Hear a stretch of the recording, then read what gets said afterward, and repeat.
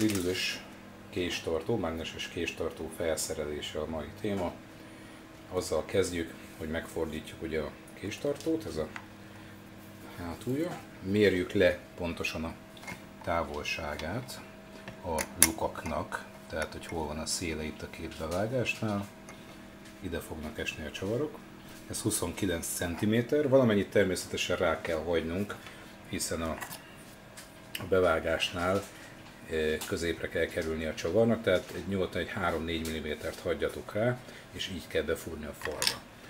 Nagyon praktikus ehhez a művelethez egy ilyen léc, amin található egy vízszintező is, ráadásul még lupak is vannak egyébként rajta kép felrakásához. Na, na nézzük, tehát bejelöltök egy pontot mondjuk itt a falon, ugye itt már benne vannak a csavarok, én már előre dolgoztam, bejelölitek, hozzáteszitek az alulecet, vagy vízmértéket, a 29 cm-t, illetve 28,6 vagy 7 cm-t kiméritek, megnézitek, hogy vízszínben legyen, bejelölitek tollal, és aztán jöhet a behajtó vagy fúró.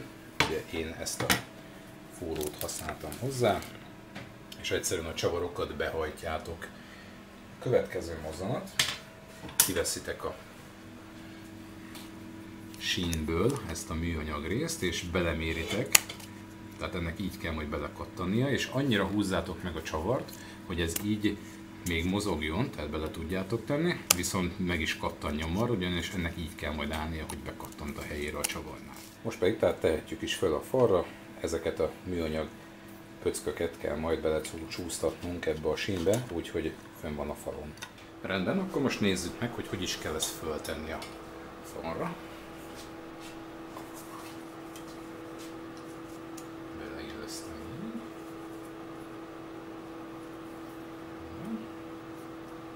Másik végét is.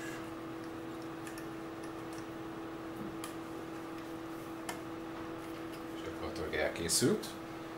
Próbáljuk is ki. Tökéletes.